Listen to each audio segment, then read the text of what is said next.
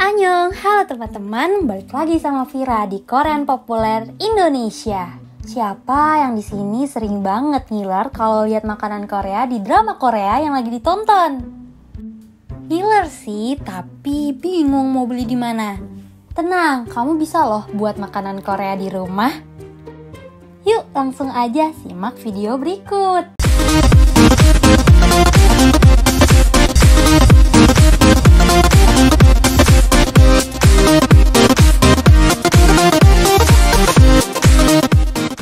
Makanan Korea memang gak pernah gagal bikin ngiler, apalagi yang memiliki cita rasa pedas.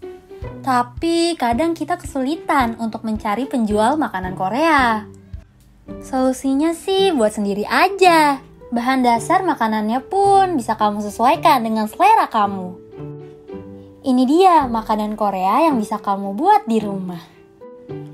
Pertama, sup kimchi sujebi. Makanan berkuah ala Korea ini berbahan dasar sobekan adonan tepung dengan tambahan kimchi. Makanan yang satu ini cocok banget dinikmati saat cuaca dingin. Karena selain mengenyangkan, makanan ini juga bisa menghangatkan tubuh. Untuk membuat sujebi sendiri, kamu hanya perlu menyiapkan tepung terigu, garam, minyak goreng, dan air secukupnya. Sedangkan untuk bahan supnya, kamu bisa menambahkan isian sesuai selera. Namun, biasanya terdapat potongan kimchi, tahu putih, kentang, daun bawang, dan bawang bombay. Lalu, semua bahan dimasukkan dan rebus seperti kamu membuat sup. Jika sujebi sudah kenyal, maka sup kimchi sujebi siap dihidangkan. 2. Jangjorim makanan ikonik di drama It's Okay to Not Be Okay. Siapa sih yang nggak tahu atau nggak notice makanan satu ini? Makanan satu ini cukup mencuri perhatian loh. Kamu akan beberapa kali melihat Jongjorim dihidangkan dalam drama Korea ini.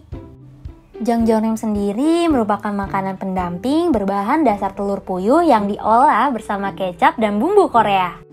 Kamu perlu menyiapkan telur puyuh, bawang putih, kecap asin, cabai merah dan hijau besar, penyedap rasa, perasan air jeruk nipis, dan air secukupnya.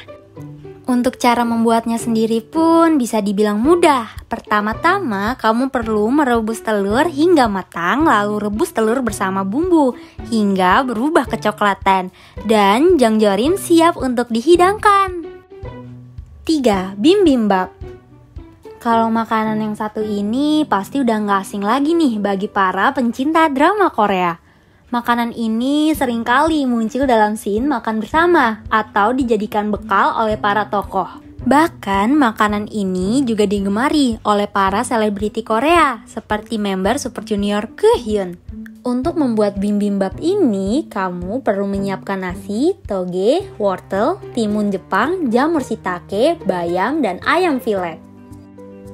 Untuk sausnya, kamu bisa menggunakan saus gochujang dan minyak wijen. Biasanya, tambahan topping telur setengah matang akan menambah cita rasa. Setelah semua bahan siap, kamu perlu merebus semua bahan makanan dan mencampurkannya dengan nasi atau saus bibimbap. Lalu, aduk seluruh bahan makanan menjadi satu dan makanan pun siap disantap. Keempat, ada ravboki. Makanan yang satu ini juga menggugah selera loh. Selain tampilan pedasnya, makanan yang satu ini juga cukup mudah untuk dibuat. Kamu hanya perlu menyiapkan topoki, odeng, mie instan, telur, daun bawang, dan saus gochujang. Masak semua bahan seperti kamu memasak topoki, bedanya ditambah dengan mie instan. Untuk makanan yang satu ini juga tersedia dalam bentuk instannya kamu juga bisa lebih praktis menghidangkan makanan ini.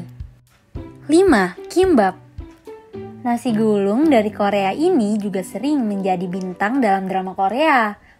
Untuk pembuatannya sendiri sebetulnya hampir sama dengan cara membuat sushi.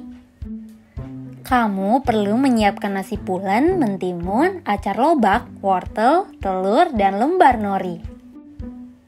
Jika memungkinkan, siapkan daging bulgogi sebagai tambahan isinya.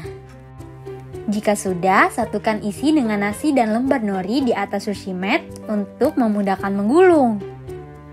Gulung perlahan dan padatkan. Rapikan agar bentuknya seperti silinder dan potong kimbap sesuai ukuran suapan. selesai, kimbap pun siap dihidangkan. Itu dia teman-teman, makanan Korea yang bisa kamu buat di rumah. Tertarik untuk coba? Kalau gitu, Vira pamit undur diri ya. Sampai ketemu di video selanjutnya. Jangan lupa like, komen, subscribe, dan nyalain lonceng notifikasi agar kamu gak ketinggalan info terbaru seputar Korean populer Indonesia. Bye-bye!